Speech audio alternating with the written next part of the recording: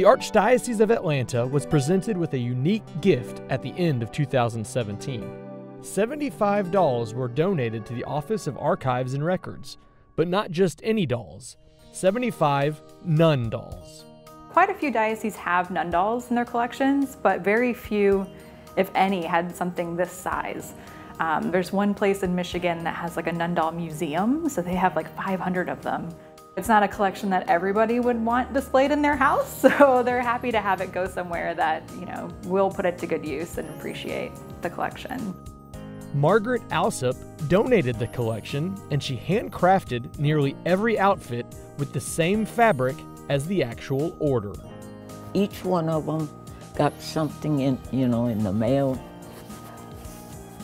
The parts, uh, the sisters, because I had to have this stuff to, to work with. I'd have to wait sometimes, you know, until, until I'd find it or order it.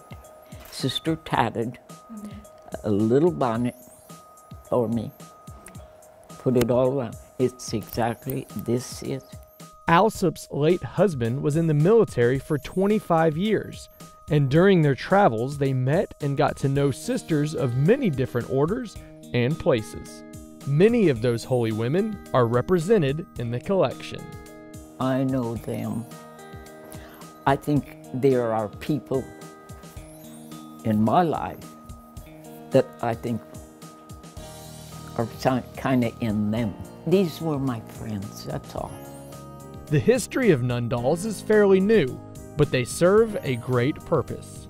Originally, the nun dolls were sort of um, created by the orders back in the 60s and the 70s after the Second Vatican Council when a lot of the, the orders stopped wearing their habit.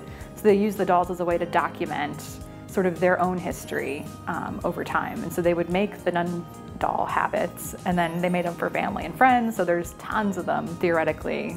Alsop had been working on this particular collection since the 80s, and it was actually her second set of dolls. She sold her first set in the 70s to pay for a trip to the Holy Land.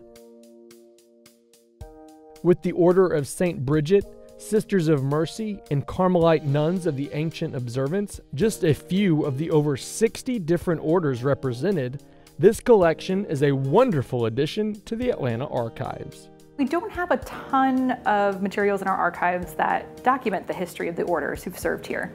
So we thought this would be a great way, a visual way of um, showing off the work that the women religious do for our diocese.